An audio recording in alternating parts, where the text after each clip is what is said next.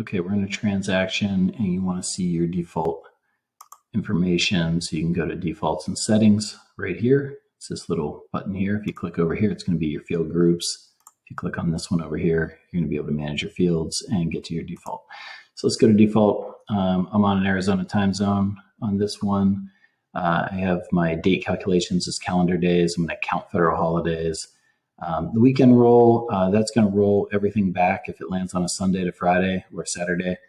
Um, same thing with the federal holiday. You can roll back, roll forward, weekend, roll back, roll forward. Um, I typically don't set these on the uh, transaction. I usually set these on like emails that are going out. So if my email is going to my lender, my escrow agent, I may roll it back to a Friday so that they get it not on the weekend.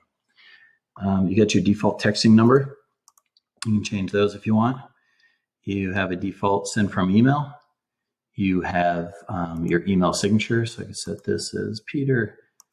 Um, I can set the details tab. Um, so this is always going to come up with my fields under my details tab first, and then I can switch it from there. Uh, this is going to get, uh, every time you open up the transaction, it's going to go to your task menu first. So you can set that for emails, documents, contacts. You can select these to come up first. So in this case, let's just make a task. Uh, you're also going to have your property date sync. So you're going to choose your calendar where you want it to go. Um, you can uh, remove or you can come down here to date template.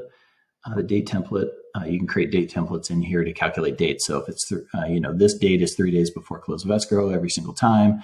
Uh, this date's 10 days after acceptance every single time. You can go ahead and set those up so that it automatically calculates as this transaction comes in. So let's go ahead and say date template and it's going to tell me what's going to happen here. So uh, earnest money is due in two days, inspections due in 10 days after contract acceptance, additional earnest money is due 12 days after contract acceptance. So, um, you know, you can have as many of these as you like in your, in your template, update dates, and now they're all going to update in there. And then you have some dotloop information if you're pulling in loops as well. So that is the default um, and settings.